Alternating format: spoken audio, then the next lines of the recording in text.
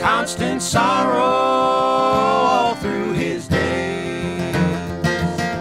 I am a man of constant sorrow.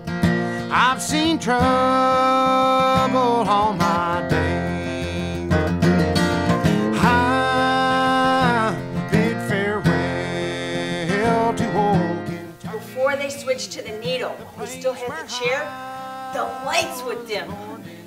No shit, just like in one of them old Bogart movies. They'd go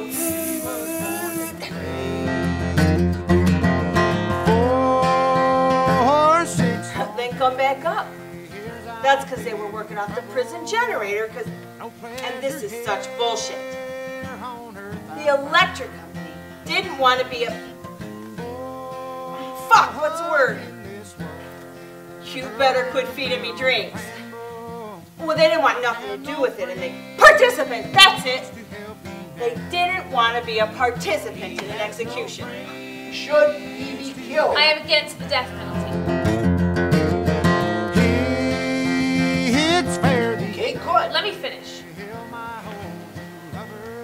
I think people like Bobby are evil.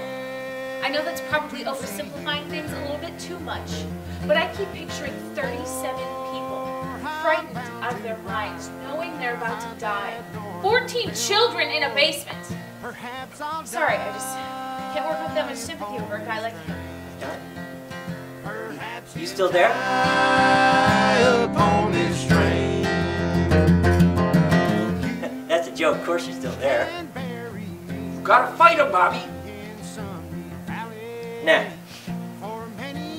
Oh, they gonna bury me in these clothes? You get a suit. No kidding.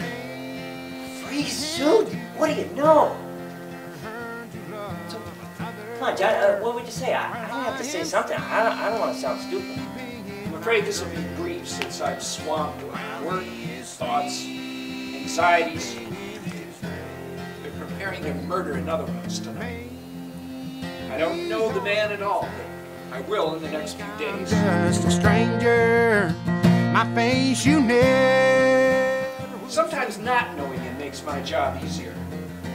Cell partners will find some pleasant memory of the man and pass it down to me, wherein I will put them into paragraph form. I meet you home, God's golden shore. He'll